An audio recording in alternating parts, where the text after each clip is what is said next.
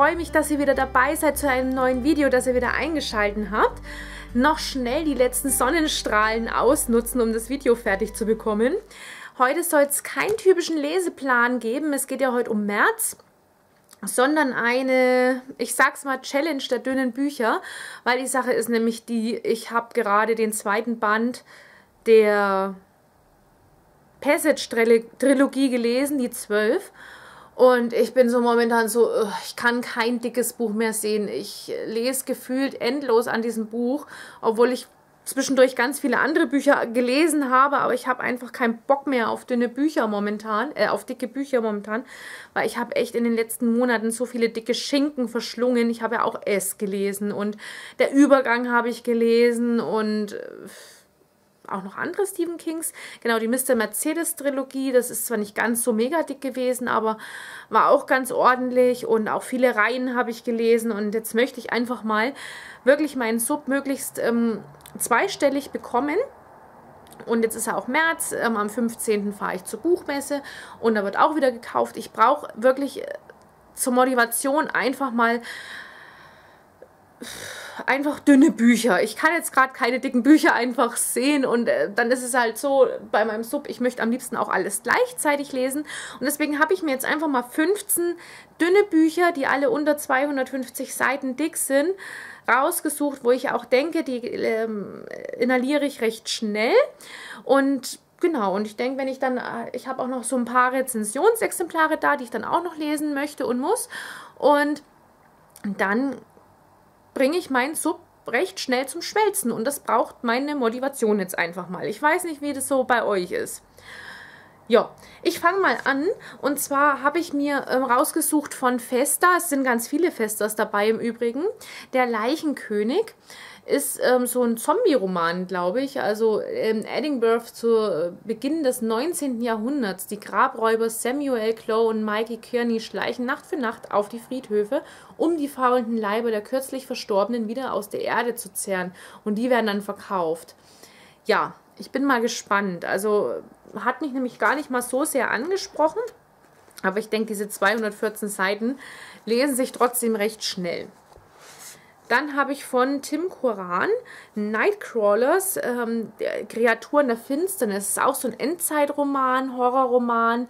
Geht wahrscheinlich auch so um so Zombies. Ich lasse mich da einfach mal in die Geschichte reinfallen. Ich finde das Cover übrigens grandios. Und mal gucken, was das so ähm, spricht dann denke ich, dass dieses sich recht schnell durchlesen lässt, weil es einfach ein Layman ist. Und zwar in den finsteren Wäldern. Ich finde das Cover übrigens grandios. Geht wohl um Freundinnen, die in den finsteren Wäldern äh, gefoltert werden und ich erwarte mir sehr viel von diesem Buch und auch das hat nur 254 Seiten. Okay, aber äh, so wie ich gesehen habe beim kurzen Reinblättern sind auch die äh, Kapitel recht kurz und ich denke, das lässt sich auf jeden Fall schnell wegsuchten. Dann hier weiß ich gar nicht, wie viele Seiten das hat. Es ist auch ein Endzeit-Thriller weil das noch eingeschweißt ist und weil ich das auch als E-Book habe, wird es vermutlich auch eingeschweißt bleiben. Mm, und zwar von Nate Southard ähm, Red Sky. Genau, ist auch so ein ähm, Inside-Roman. Ich finde das Cover sehr gruselig, weil ich mag keine Gasmasken. Ich habe ein bisschen Angst vor Gasmasken, ich weiß auch nicht. Ähm, ja, es geht um einen Überfall auf jeden Fall, um einen Banküberfall und ja, es ist wohl Endzeit, Zombies, keine Ahnung. Mal gucken, mal gucken. Ich lasse mich da wirklich einfach in die Geschichte hineinfallen und ich möchte euch auch jetzt nicht jeden Klappentext vorlesen. Ja, Dying to Live 1 und 2 von ähm, Kim Pfaffenroth, die Traurigkeit der Zombies und die sind auch recht dünn und sind halt auch einfach nur Zombie- Romane. Ich bin mal gespannt, ob mir das dann gefallen wird. Äh, ja, es ist halt auch wirklich so, dass sehr viel von Festa dreht sich halt um Zombies und Endzeit. Wobei, die bringen echt immer Gutes raus. Und das hat mir die liebe Annika auch empfohlen. Auch out of print ist das. Und ist leider auch nicht fortgesetzt worden, was wohl sehr traurig ist. Äh, ja, auch Endzeit, Zombie-mäßig. Ich bin mal gespannt, was mich da erwartet. Ich muss ja sagen, ich bin mir nicht so sicher, ob mir diese ganzen Zombie-Endzeit- Bücher gefallen, aber irgendwie habe ich da momentan Bock drauf. Und außerdem sind sie echt sehr dünn. Und hier muss ich mal gucken, das hatte ich nämlich gar nicht auf dem Schirm, also beziehungsweise hatte ich schon, weil es ja aus der Horror- und ähm, Thriller-Reihe ist. Ähm, es heißt Down.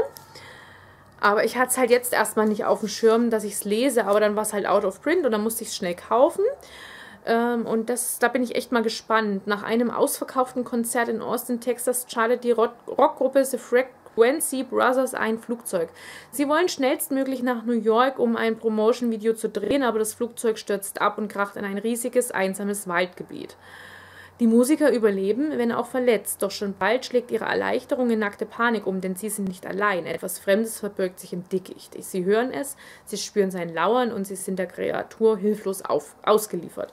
Und da bin ich ja echt mal richtig gespannt. Ich erwarte viel. Dann, das ist so ähm, aus der Action- und Crime-Reihe ist es erschienen. Mountain Home. Ja, ist ein Rache-Thriller und auch da bin ich mal gespannt. Es hat 1200, äh, 218 Seiten und das ist ja wirklich ähm, auch fast gar nichts. Dann letzter Fester, nein, vorletzter Fester. Und zwar möchte ich endlich ähm, 65 Stirrup Iron Road lesen. Es ist eine Sammlerausgabe und mit der muss ich echt sehr sachte umgehen, weil sie ist so wertvoll inzwischen. Ähm, ja, es limitiert auf 666 Ausgaben muss wohl ziemlich gestört sein vom Inhalt her. Ist von sechs, fünf Horrorautoren geschrieben worden, die auch alle unterschrieben haben. Und ähm, hier sind die ganzen Autogramme drin. Ich habe 542. Ähm, die Schrift ist rot. Und schaue ich gerade mal, worum geht es denn überhaupt in der Geschichte. Es ist auf jeden Fall mal so, dass ein Autor hat eine Geschichte geschrieben und der nächste hat dann weitergeschrieben. Kennt man ja auch als Spiel und ja, ich bin schon sehr gespannt, auf jeden Fall. Ah, was denn das wird. Tut mir leid, dass ich euch zum Inhalt immer nicht so viel erzählen kann, weil ich mich gar nicht so sehr mit den Büchern jetzt befasst habe einfach. Und das sind auch 15 Inhalte, die muss man auch erstmal, ähm, ich lese, lerne jetzt nicht Klappentexte auswendig. Ich habe die ja noch nicht gelesen. Ähm, dann gibt es noch ein Bizarro Fiction von ähm, Carlton Melick. Der schreibt ja eh immer recht ähm, dünne Bücher. Ich denke, auch viel kann man von dem nicht lesen. Adolf im Wunderland lasse ich mich einfach mal in die Geschichte reinfallen. Ich habe schon lange nichts mehr aus dem Bereich Bizarro Fiction gelesen. Und dann haben wir noch ein Buch, auch Bizarro Fiction, auch eine Sammlerausgabe von Voodoo Press ist die. Ähm, ich habe Ausgabe 50 von 100. Das Lustige ist, wenn man die als Softcover hat, dann ist es keine Sammlerausgabe. Also finde ich ein bisschen komisches System. Aber gut, ich habe hier die Hardcover-Ausgabe und das ist Wände, ähm, so ein Wendecover. Also wir haben hier eine Geschichte, The Haunted Vagina, das sehr gut sein soll, das auch sehr gefeiert worden ist. Und The Ugly Heaven. Und ich bin mal gespannt, wie das so sein wird. Hat auch nicht so viele Seiten. Aber wie gesagt, so Bizarro Fiction kann man auch, glaube ich, keine endlos langen Bücher lesen. Dann habe ich noch drei normale Bücher, wobei so normal sind die auch nicht. Ich habe hier noch die Welle ja, ich weiß, es ist eine Bildungslücke, aber ich habe es halt nun mal nie gelesen und brauche ich, glaube ich, auch nicht so viel ähm, erzählen zu dem ähm, Experiment in der Schule, das gemacht wird. Bin auf jeden Fall gespannt. Man kennt den Film, man kennt die Geschichte, aber wie gesagt, ich habe es halt nie gelesen. Soll sich ändern. Und dann habe ich hier noch was, da weiß ich auch gar nicht, um was es geht. Das habe ich irgendwann mal geschenkt bekommen. Ist ganz cool aufgemacht. Wilder Nacht. Steht auch ganz wenig auf dem Klappentext und es schaut innen halt so aus. So. Und ich denke halt, dass sich das richtig schnell weglesen lässt. Und deswegen, es soll vom Sub verschwinden. Das ist doch einfach ein Quatsch. Und genauso zehnte Stunde. Das ist einfach nur ein Thriller. Ähm, der hat 130 Seiten. Ist ein Jugendbuch. Ein Jugendthriller. Und das sind innen drin lauter solche Sachen. Und es ist so ein ähm, Thriller zum selber äh, lösen. Oh, das war sogar mal ein Mängelexemplar, sehe ich hier gerade. Mit Beweismaterialien und ja, mal gucken. Ich führe mir das mal zu Gemüte. Ich weiß nicht, ob das was für mich sein wird, aber ich habe es hier. Es ist wirklich nur ganz dünn und ähm, ja, warum nicht, ne? Genau, das sind jetzt 15 Bücher. Ich meine, ich habe vor, noch mehr zu lesen. Ich habe auch vor, längere Bücher zu lesen. Ich bin ja momentan eh sehr süchtig und ich schaffe das auch, diese 15 Bücher zu lesen, das weiß ich. Und dann noch ein paar, wie gesagt, noch ein paar Rezensionsexemplare, die ich noch da habe. Und dann, ja, ist das Sub vielleicht mal zweistellig. Aber es kommt ja noch die Buchmesse. Mal gucken, wie das so ausgeht. Ich erwarte ja das Schlimmste. Verratet mir mal, was ihr im März so vorhabt. Ähm, ob ihr lieber dicke Bücher lest, lieber dünne Bücher, weil manchmal ist es ja auch so, es ist ja bei mir so phasenabhängig. Manchmal brauche ich auch dicke Bücher einfach, weil ich mich nicht immer neu auf eine neue Geschichte einlassen kann, so vom Gehirn her.